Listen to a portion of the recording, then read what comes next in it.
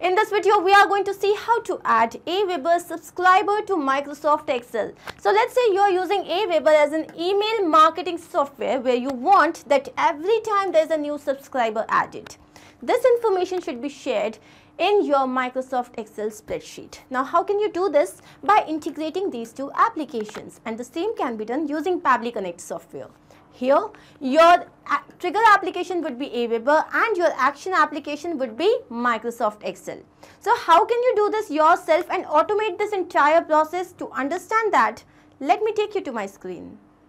To start with the process, we are first going to type pabbly.com slash connect and as we type this URL, it will take us to the landing page of this software. Here on the right hand side, you can see two options, sign in and sign up for free. If you are an existing user, you have to simply click on sign in. If you are a new user, then you will have to sign up.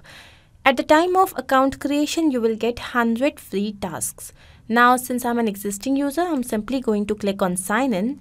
And once I do that, it will take me to the all applications page. So this, these are all the applications under the umbrella of Pabbly.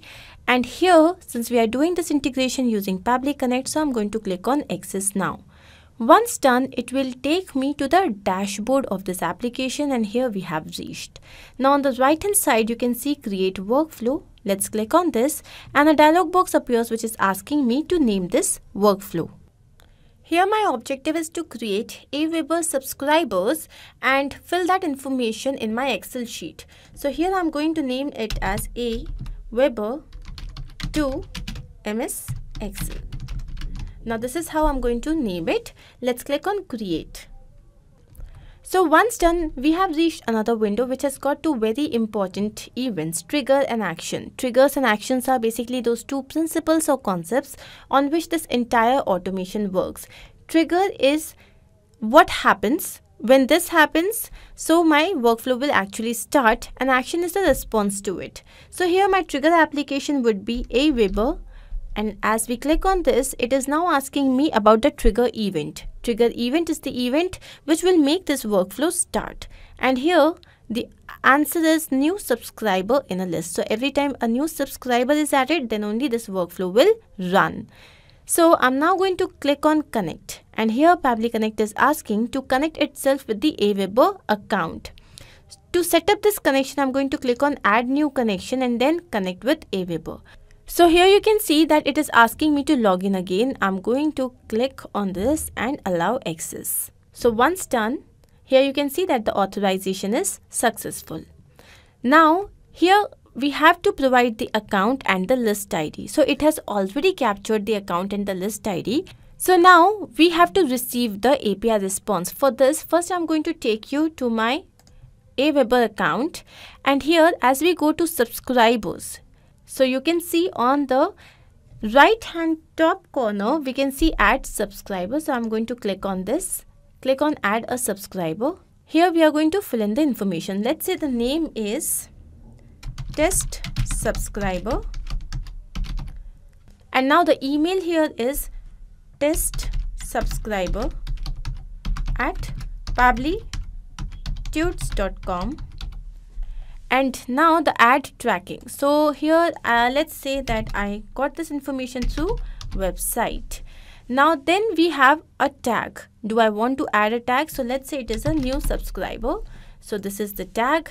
And then we have these custom fields. So if you wish, you can always add this information. Let's say the voter ID is 12345 and then we have the date of birth. So it is 11 September 1985 and then we have the address. So it is random street and random city. And let's say the pin code is 462042.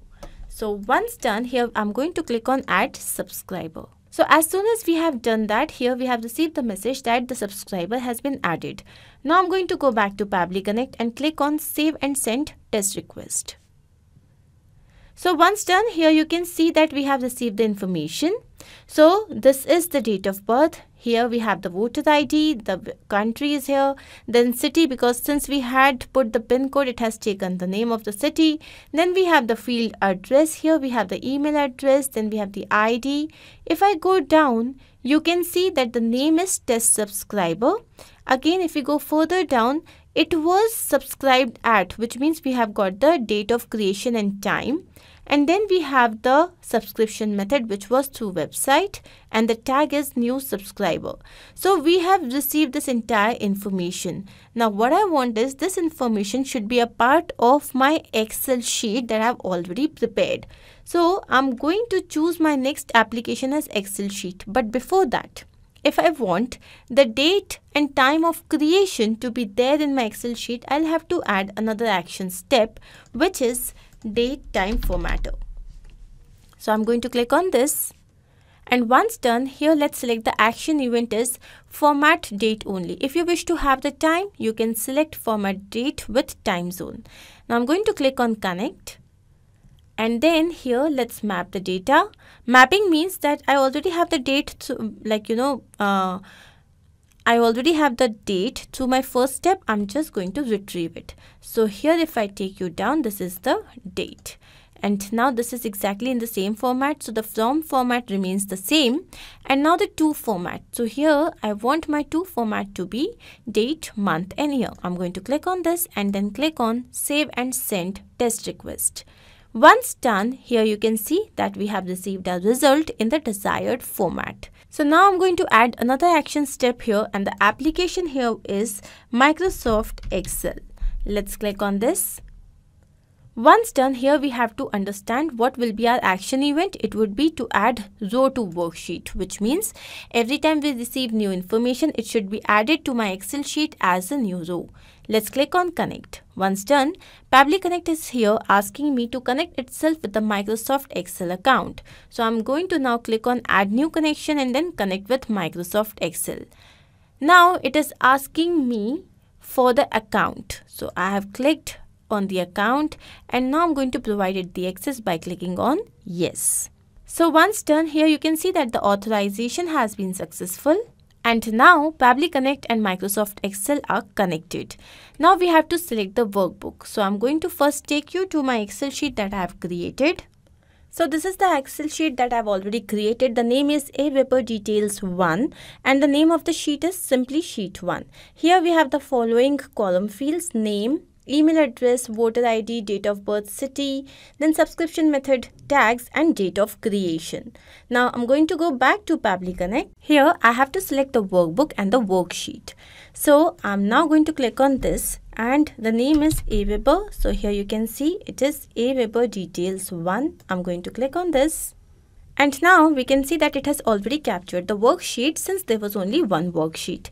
Now we have to map this data. Mapping basically means that we already have got this data in our previous step and now we are just going to retrieve it. So I'm going to click on name and going to the first step.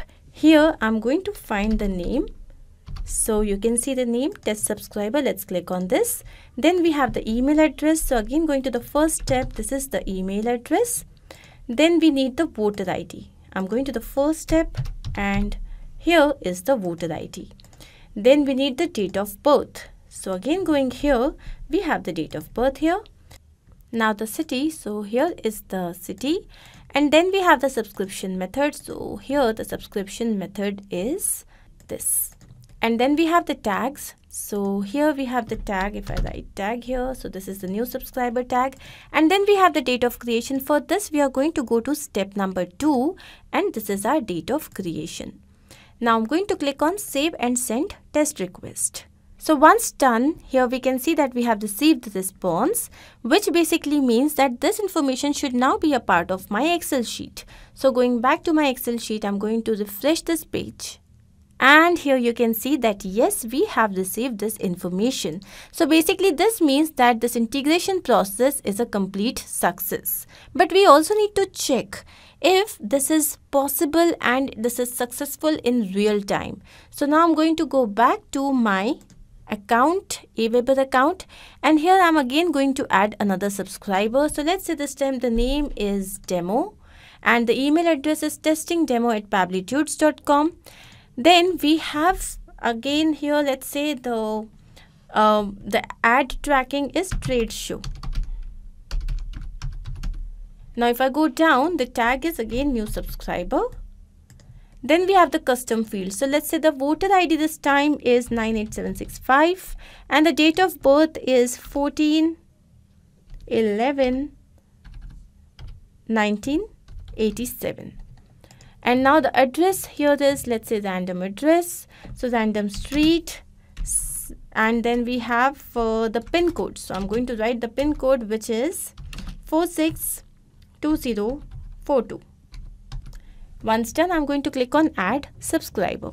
So as soon as this is done what should happen? I should receive these details on my excel sheet. Going back and now i'm going to refresh this page. So here you can see that we haven't received the data yet to understand the reason, I'm going to now take you to Pabbly Connect and if I scroll up, it is showing that this trigger will check for new data in every 10 minutes. Basically, this application, this trigger application has a polling time of 10 minutes and you will have to wait for 10 minutes to receive the data. So this workflow will run after every 10 minutes and fetch for new data. So now we are going to wait for 10 minutes so that we can receive the data in our Excel sheet. So going back to our Excel sheet, here you can see that yes, we have received the information. So basically this means that our integration process is a complete success. Now I'm going to go back to Pabbly Connect to understand the process. So this was an extremely easy two-step process where we had added one feature by Pabbly which was date time formatter. So here my trigger application is Aweber and my trigger event is new subscriber in a list. My action event here was date time formatter by Pabbly where I had chosen the event as format date only. Then finally the action event was Microsoft Excel and the event was at row 2 worksheet. I hope this is very much clear to you. In case you have any doubt then you can refer to the workflow which is given in the video description. You can also clone this workflow and start to process immediately. Apart from this if you have any doubt or you have any other suggestion or advice for us you can always write to us. I hope this was helpful. To watch more such videos, you can always subscribe to our channel which is there on YouTube. If you have any queries, you can write to us at forum.pabbly.com and if you want to know our pricing plans, then you can visit us at this particular site. Do not forget to like, share and subscribe if you have liked this video.